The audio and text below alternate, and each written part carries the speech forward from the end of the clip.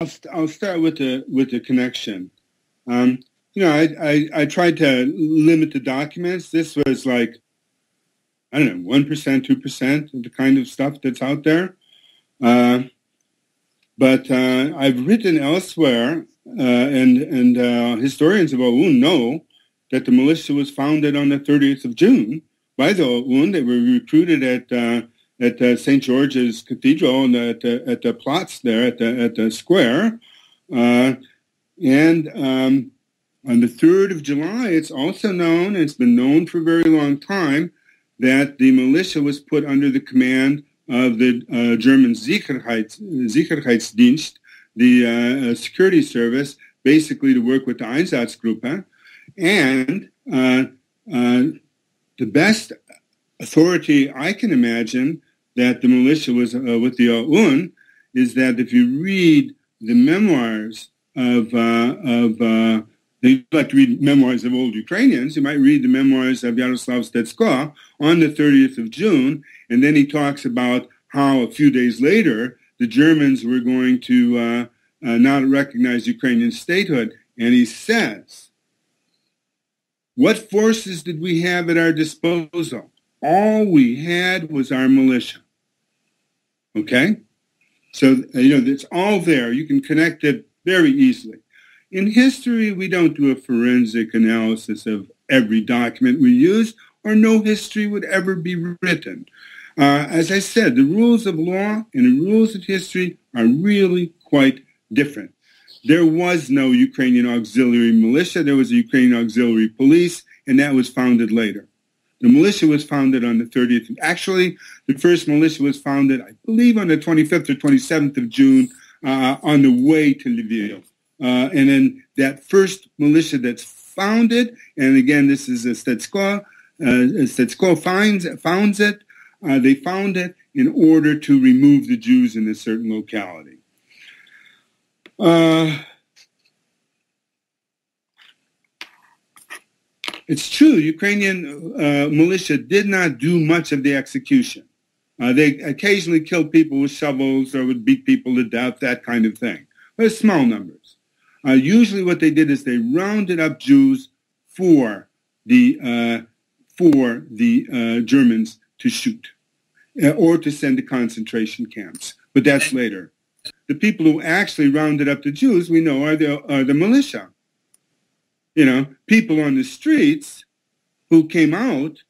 Uh, uh, there was a, there, I've got two interesting reports from uh, Melnykite, who was in Lviv at that time, and these were given to me by Myron Momryk, who is an archivist in Canada, and he found them not in the Soviet archive, but in the uh, uh, in the National Archives of Canada, where former uh, uh Melnykites had given some uh, given some of their material. Well, one, there are two interesting reports. Uh, one says that the the pogrom which occurred, he considered the demonstration of Polish national um, activity. So he considered the Poles were involved in the pogrom, mainly. Uh, I'll, I'll, come back to that.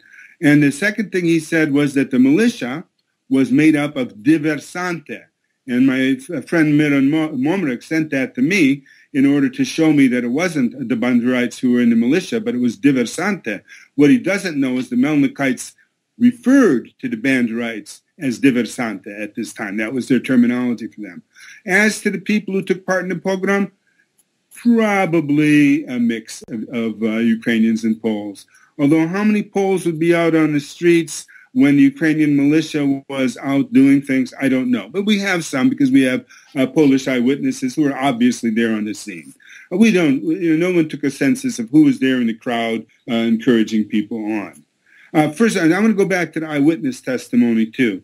These are not eyewitnesses in the court of law. What happened is right after the war, with the immense destruction of the Jewish population, the not the Jewish Historical uh, uh, Institute, which now houses the papers, but the Central Jewish Historical Commission, I believe it was called, uh, just got as many stories as they could. And they did it in, in 44, 45, and they continued. However, they're not the only people who collected them. And uh, uh, Steven Spielberg collected a whole bunch as well in the, in the 70s through the early 90s.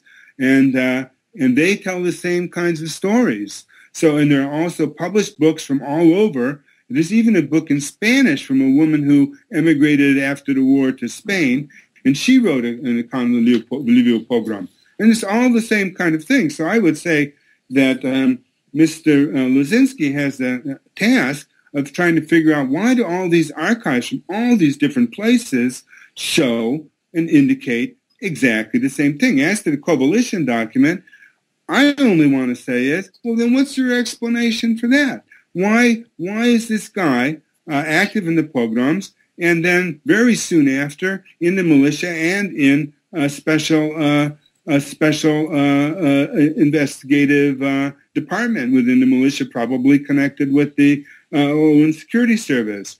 You know, my task, I bring these all together. Marco Carynnyk brought them all together. Uh, Grzegorz Rossoliński-Liebe wrote a biography of Bandera where many things are cited.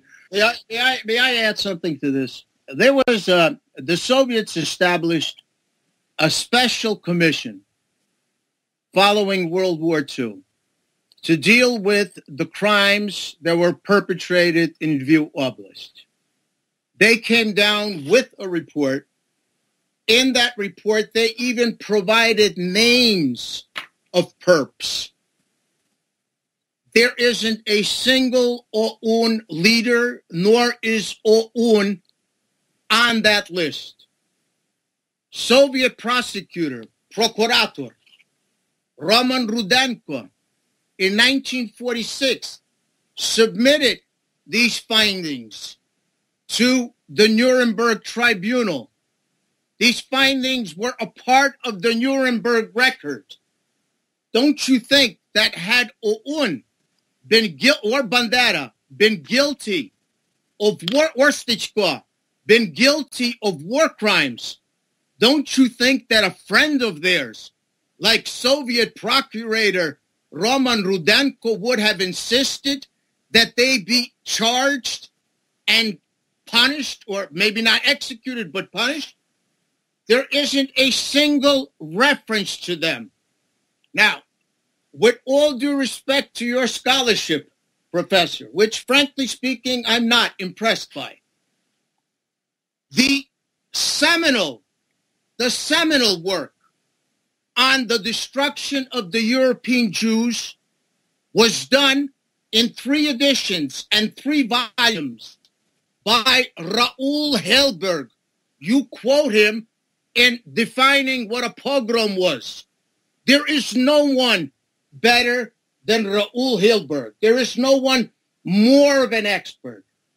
In his entire three volumes, he mentions the OUN, the Organizacja Ukraińskich Nationalistów, one time and never in connection with any atrocity or any pogrom eyewitness accounts, a thousand page book written by Martin Gilbert. He collected numerous testimony. Also, coming up short of any indictment or even accusation against the OUN. In fact, interestingly enough, Raoul Hilberg relied on German documents primarily. And he, to a large degree, he poo-pooed eyewitness testimony. But he relied on German documents. And in one of his documents, he specifically says how the Germans bemoaned the fact that Ukrainians were not cooperative, that Ukrainians were not doing their part in the extermination of Jews. This is coming from, with all due respect, Professor, a scholar on the Holocaust who is more established and more renowned than you. Yet you quote Hilberg in your paper one time only in defining what a pogrom is. All right? That's it. And yet you contort that definition because pogroms, according to Raoul Hilberg, are an action, sporadic action, that is done by the spilnota, by the society where the local population is found. Here you're suggesting that the Lviv pogrom was perpetrated essentially by people who were coming from Kharkov. Kharkov, yes, because the Ottoman leadership was coming from from Krakow, rather. Krakow. Krakow. Sorry, Kharkov is a Russian version of Kharkiv, right? Kra- Krakow. That's where they were coming from. All right, and then they used apparently the local personnel. Yet that's not a pogrom. In any event, no one supports that version of the facts. Neither Raoul Hilberg, neither Martin Gilbert, neither the Special Soviet Commission, even Procurator Rudenko doesn't didn't agree with you.